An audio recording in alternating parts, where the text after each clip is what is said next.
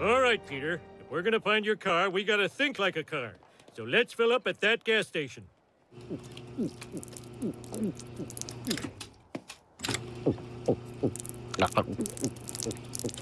I feel sick. Keep drinking. I prepaid 40 bucks. Homer, maybe we're doing this wrong. Oh, crap.